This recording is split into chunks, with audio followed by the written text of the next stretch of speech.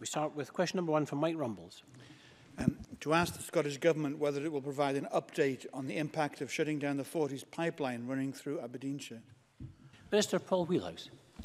Uh, the Scottish Government is liaising with INEOS, uh, FPS, Petro INEOS, UK Government, SEPA and local resilience partners to monitor this evolving situation The interests of the public safety, worker safety, the well-being of the local communities affected and the environment are all key priorities. However, by way of background, presiding officer, a crack was discovered on the 6th of December 2017 in the 40s pipeline near Netherley to the northwest of Stonehaven during routine maintenance. The crack has extended, requiring the 40s pipeline system, which carries production from more than 80 fields in the central and southern North Sea, to be shut down to allow for safe repair. A technical assessment is underway to inform the repairs that will be required and the likely duration of the shutdown. There are no plans to shut down Grangemouth refinery and no impacts are anticipated for fuel and gas supplies. There are sufficient stocks of crude oil to continue operations in the refinery for more than a week, uh, and Petronas are also developing contingency plans to import alternative supplies of crude oil uh, should this become necessary to ensure continued operation. In addition, they're also able to import additional finished products to ensure there are no impacts on fuel supplies. We are very aware that uh, an extended shutdown will have an impact on companies with fields utilising the 40s export route, and we are uh, seeking clarity from INEOS on the risks of this being necessary. In ad advance of details emerging on the timescales for returning the pipeline to normal operations, Scottish Government officials remain in close contact with INEOS FPS and Oil and Gas UK uh, to monitor the impacts on the oil and gas sector and the wider economy my grumbles. Uh, thank the Minister for that update, but the Minister will be aware that people living along the length of this pipeline, especially in Aberdeenshire, are worried that there may be further, as yet undetected, fractures. What can the Scottish Government do to reassure local residents about this? Minister. I, I cl clearly, it's, it's something which has occurred in terms of the, the, um, the discussions we've had, some, of the, some thinking we've had ourselves around making sure that we can give confidence to communities along the route that no similar problems may arise elsewhere. It's obviously very early in the process. We'll be seeking information from INEOS as uh, to reassurances around whether this is related to a technical failure of a part of the pipeline or whether it's an indication of any further impacts there may be elsewhere on the, on the line. It's not possible at this stage to, to give any clarity on those points, but it's clearly something that has been raised by uh, Scottish Government with, with INEOS and we'll seek uh, further clarity on that. What I would say is that this is um, a, a fault that's been identified during routine maintenance. Routine maintenance happens all the time on, on the pipeline and that hopefully will give confidence to the public that um, a breach has been discovered before it became a significant issue and uh, hopefully that will give confidence to communities that are affected that uh, safety measures are in place uh, to protect them from uh, incidents such as this taking impact on their lives. And Mike Rumbles. Yeah. considering that um, the Forties Oil pipeline is a critical part of the UK's energy infrastructure and it's quite an old pipeline, what does the Minister think are the implications for oil workers affected by the temporary closure, which, as I understand, uh, INEOS have just been telling me that uh, is understand to be, uh, the delay is going to be weeks rather than days. What can the Scottish Government do to help those employees uh, and their families? Minister. Uh, clearly, in my original answer, I recognise that this is potential uh, for an extended shutdown to have an impact on those companies that are currently uh, both using the Forties pipeline in terms of uh, production upstream companies that are relying on that pipeline to, to get their product to market, but also on those who are supporting that work uh, through whether it's through service companies or other supply chain companies to actually um, have an impact on, on their livelihoods. So we are trying to get information from Oil and Gas UK, who are doing a, a ring round to try and speak to all the different businesses that are affected.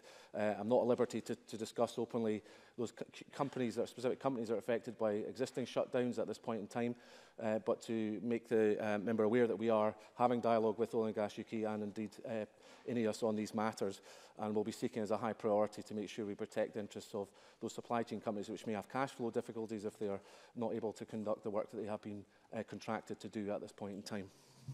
Angus MacDonald. Thank you, President Officer. Co uh, coincidentally, I spent the whole of yesterday morning meeting with seniors, uh, senior NEOS management in Grangemouth, at which the Forties pipeline uh, was discussed amongst other issues.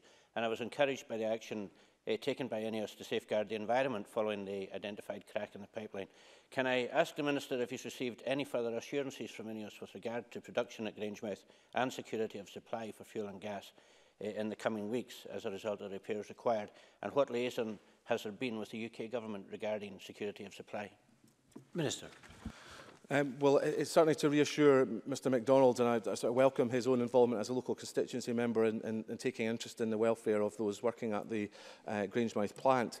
Um, as I understand it, as I said in my original answer, that the, the company have uh, contingency plans to be able to ensure they have sufficient crude oil to be able to continue operations at, uh, at Grangemouth and they don't anticipate it affecting production. However, they have also got plans in place to ensure if that uh, does arise that they can access um, the, the finished product as well to make sure there's no disruption to fuel supplies within the Scottish or uh, northern, northern England uh, markets as well. So uh, I think the company are taking appropriate steps in that respect. In terms of environmental protection, we believe the issue has been contained, um, that they have identified what faults uh, are there and are identifying now a solution to repair the fault fault. Uh, and we have every confidence that INEOS are working extremely hard on that at this moment in time. Um, the, the member also asked about engagement with UK government. At this moment in time, the, the engagement has been at official to official level. Um, but if necessary, obviously, we'd be keen to engage with UK ministers in this, where obviously there are key, key reserve powers in relation to um, oil and gas industry and indeed in uh, security of supplies of energy are also a reserve matter. So we'll be keen to work uh, collaboratively with UK ministers if that uh, proves necessary. Lewis MacDonald. much. I wonder if uh, the Minister can tell us whether the government has been informed about any oil which may have been in the pipeline system, uh, particularly above the site of the repair, before it was, uh, before it was closed down overnight. Uh, what has been done or will be done to remove that oil from the pipeline uh, and make it safe? And also, what are the financial and commercial and operational implications of this shutdown for operating companies producing that oil, the owners of that oil and other operating companies reliant on the infrastructure and by extension what are the cash flow implications uh, for companies in the supply chain in the northeast and across Scotland. Minister. Well, clearly, I recognise a number of important issues that raised by uh, Lewis MacDonald. Um, the pipeline's average daily throughput is just under uh, 450,000 barrels of oil a day and 3,500 tonnes of gas. I should stress that we uh, had reassurance there doesn't appear to be any threat to gas supplies um, from St Fergus Terminal. We'll still, still be able to supply gas to the national grid, so there aren't any immediate threats to um, uh, domestic heating supplies and other, other users of gas.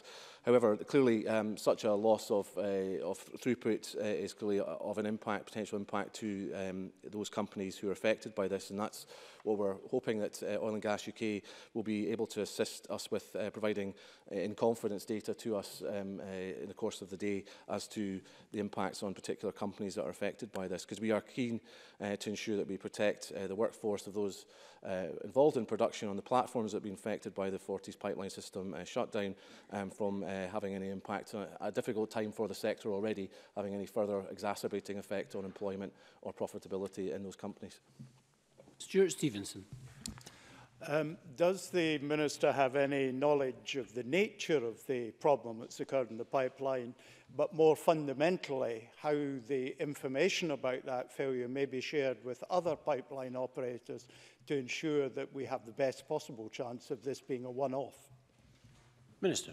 I, th I think Mr Stevenson makes a very reasonable point in terms of making sure we learn lessons from this, uh, clearly to, and to relay any, uh, any issues around good practice to uh, to other uh, pipeline operators as swiftly as can be done. Obviously, Health and Safety uh, Executive is, is not a devolved agency, but I, I'm sure that uh, Health and Safety Executive were taking a very keen interest in this to ensure that there anything can be done to prevent a similar um, risk to safety uh, being incurred in, in future. Uh, so that is something that uh, very much we, we need to take forward. Um, it does appear to be um, obviously a, a crack, a breach in the pipe. Um, As yet, we do not have a confirmed cause of that uh, failure, and that goes to the heart of what I think uh, Mr Rumbles was also saying in relation to um, the cause of this, as to understand whether it's uh, uh, something like metal fatigue or some other cause, or whether it's uh, maybe something that's externally um, damaged the pipe um, and therefore caused the, the crack. So as yet, we don't have an answer to that question, but certainly uh, commit to furnish those answers to, to members in the chamber with interest uh, once we have that identified, presiding officer. And finally, Gillian Martin. Thank you, President Officer. Lewis MacDonald's already asked questions around the commercial impact, so I won't repeat them, but does the Cabinet Secretary agree that the temporary shutting down of the Forties pipeline and the attendant implications of this has highlighted what all of those who live in the North East and those working in the North Sea already know, and that is the huge importance of Scotland's North Sea oil reserves to the UK economy? Minister.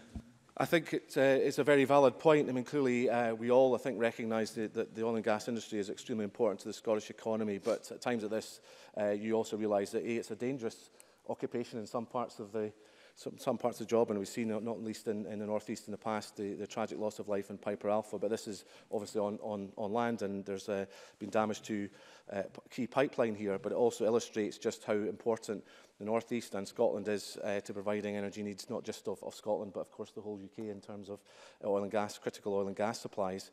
And uh, clearly uh, there's a very strong imperative on the part of all agencies to making sure that the Forties pipeline system is back up and running again and doing the job it's been doing uh, for many years now to help uh, supply us with our primary energy needs.